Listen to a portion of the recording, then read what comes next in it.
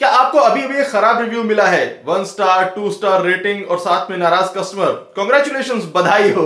अरे, नाराज़ मत होइए। नेगेटिव रिव्यूज़ असल में बड़े काम के होते हैं। Hello everyone I am Tiwari for Tiwari dot net और इस चैनल में हम मनी मार्केट और मार्केटिंग की बातें करते हैं हर सुबह साढ़े आठ बजे। इसलिए नीचे जो रेड सा बटन बना हुआ है, बड़ा सा सब्सक्राइब बटन उसको दबाइए सब्सक्राइब कीजिए और कल का वीडियो मिस मत कीजिए। अच्छा मैं बताता हूँ कि इस वीडियो का आइडिया मुझे कैसे मिला। इस महीने हम रेस्टोरेंट और फ़ूड बिज़नेस मार्केटिंग के वीडियोस कर रहे हैं। तो मुझे एक रेस्टोरेंट ओनर का कॉल आया। उनका रेस्टोरेंट ठीक ठाक चल रहा है। कस्टमर्स भी अच्छी खासी क्वांटिटी में मिल रहे हैं। लेकिन वो बड़े अपसेट थे कि यार आ, सारी मेहनत करने के बाद भी आ, आ, हर रोज एक दो नेगेटिव रिव्यू ज़रूर मिल जाते हैं। उनका क्वेश्चन था कि मैं हंड्रेड परसेंट पॉजिटिव रिव्यू कैसे मेंटेन करूँ?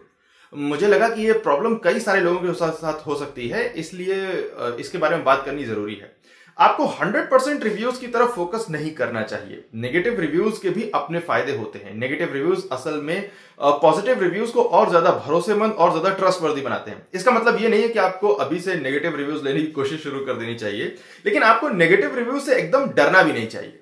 एक बिजनेसमैन के तौर पर आपको पता है, हम सबको पता है कि 100 परसेंट कस्टमर्स को सेटिस्फाई कर पाना इम्पॉसिबल है। और आजकल के स्मार्ट कस्टमर्स भी इस बात को अच्छी तरह से जानते हैं। एक सर्वे के हिसाब से 68 परसेंट कस्टमर्स किसी भी बिज़नेस पर तभी भरोसा करते हैं जब पॉजिटिव और नेगेटिव दोनों टाइप के रिव्यूज़ से मिले हुए हों।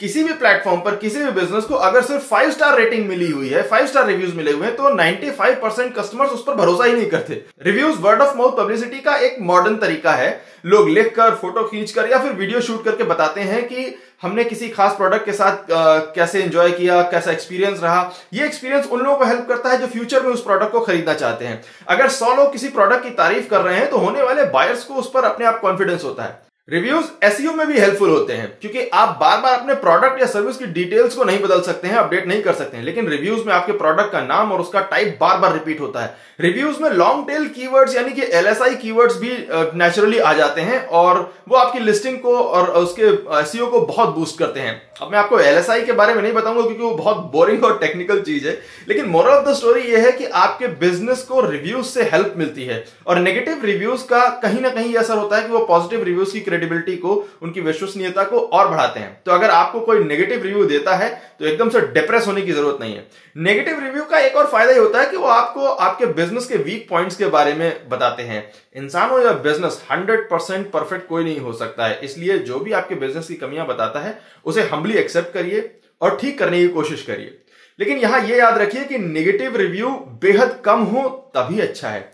दस परसेंट से ज़्यादा नेगेटिव रिव्यू या one star two star rating बिल्कुल मत होने दीजिए। ज़्यादा पॉजिटिव रेटिंग और रिव्यूज़ के लिए आप हमारे जो स्पेशल प्लेलिस्ट है, उसको सेलेक्ट करके, उसको क्लिक करके ऊपर उसका लिंक आ रहा है। आप उन वीडियोस को देखिए, आपके लिए बहुत हेल्पफुल रहेंगे। सो so फ्रेंड्स आज के लिए इतना ही। Thank you so much for watching this video video को लाइक करें चैनल को सब्सक्राइब करें और मुझे फेसबुक ट्विटर इंस्टाग्राम पर फॉलो करें। अब मैं Tiwari for Tiwari dot net and I will see you tomorrow morning at eight thirty again thank you very much good bye